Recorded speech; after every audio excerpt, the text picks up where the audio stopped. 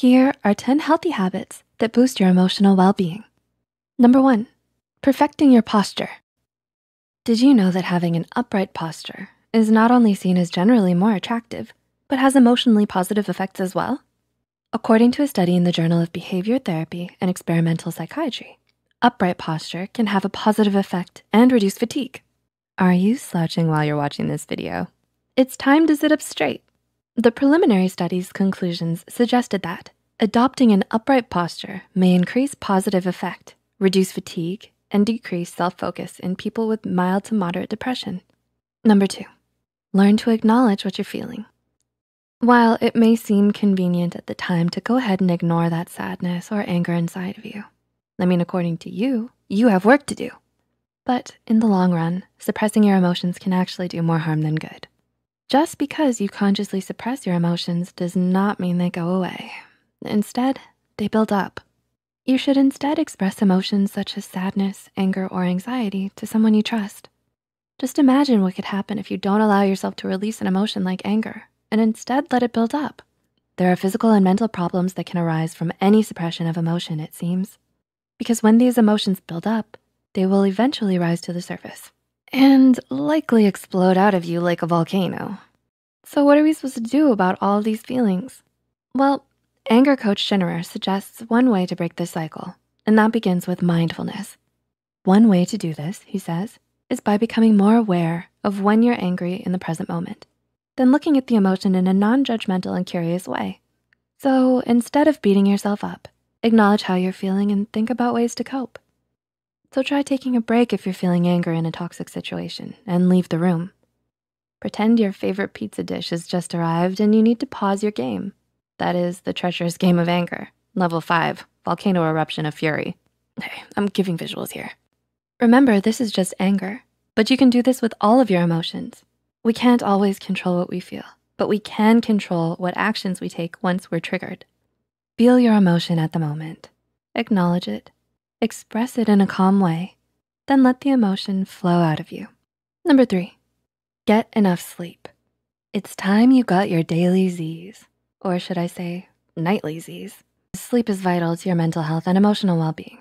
Sleep helps repair and renew all of the cells in our bodies. Every time we lay down on that pillow and go to our blissful dreams, we wash away any toxins that can build up throughout our day. With enough sleep, we can have quicker reflexes, more mental clarity, and simply feel better. So if you're watching this way past your bedtime, it's time to sleep after this video. Number four, exercise regularly. Life can get hectic and busy, but that doesn't mean we should neglect our health. The benefits of exercise can start to present themselves if we fit in enough regular exercise each month. Our bodies release specific endorphins that relieve stress and boost our mood when we exercise. So it can be a valuable tool when you're feeling anxious or depressed.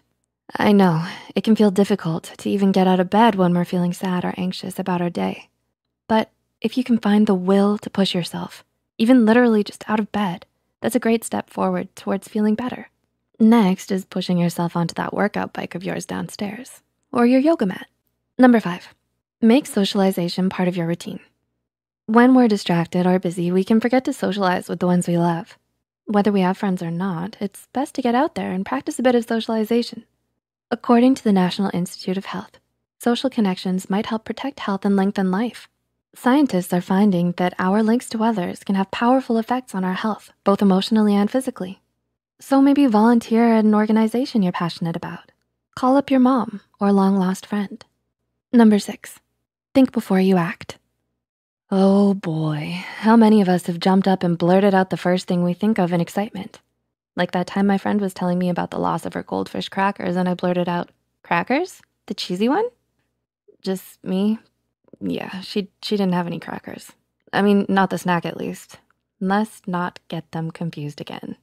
The thing is, we can act before we think. When we first need to calm down our strong emotions before taking action. Sometimes before even processing a request or comment, we fill in the blank with what we think someone else means. In my case, I thought she said, we got some goldfish crackers. But what she really said was the funeral preparations for my goldfish crackers has already begun. I get But often people can interpret something said with normalcy as something cruel intended due to our own negative feelings. So it's best to think and process what's really being said before you act. Number seven, be present in the moment.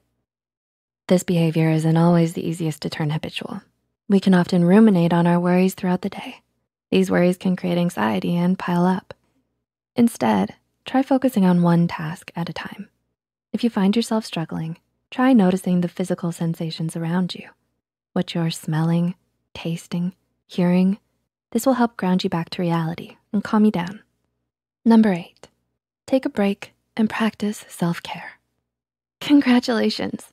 Watching this video is a part of practicing some self-care and relaxation. Ah, the calmness of learning habits to boost your emotional well-being. Are you feeling it now? It's important to take a break when life gets too busy or challenging and do something we love. If that's simply watching a few YouTube videos in quiet solitude, go right ahead. If it's taking a relaxing warm bubble bath, get the water running because it's time for some you time. If you still feel like your days are too busy, you can simply try taking a moment to do some deep breathing and lower your heart rate. Deep breath in, deep breath out. Number nine, don't make social media a habit. As much as you like mindlessly scrolling and pressing the heart button on your friends' social media posts and posting photos of your food, stop it, you're making me hungry, and posting relatable memes mm, all day, well, that one is pretty fun. But as much as you like spending your undue time on social media, it isn't always great for your mental health. I mean, think about it. You're hunched over and cramped, staring at a little tiny screen.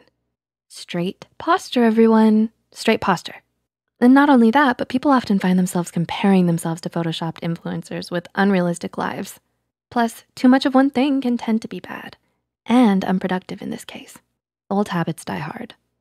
Number 10, eat healthy. I know, I can't help it either sometimes. Sometimes I simply want a snack on, well, don't mention crackers it's best to move on. But a healthy diet not only helps your brain, but your body as well. So take it easy on the snack food for now. And instead, recognize those delicious leafy greens and bright colored fruits will only add to your good mood. You can start by trying to include foods rich in omega-3 polyunsaturated fatty acids. Research has shown that these nutrients restore structural integrity to the brain cells necessary for cognitive function. And it can boost your mood. These nutrients are commonly found in nuts, flaxseed, and fish. Uh-oh, did somebody say fish? Do you mean goldfish? Uh, speaking of fish, I'll be right back. which habits will you enact? And which bad habits are you guilty of? Let us know in the comments. As always, thanks for watching.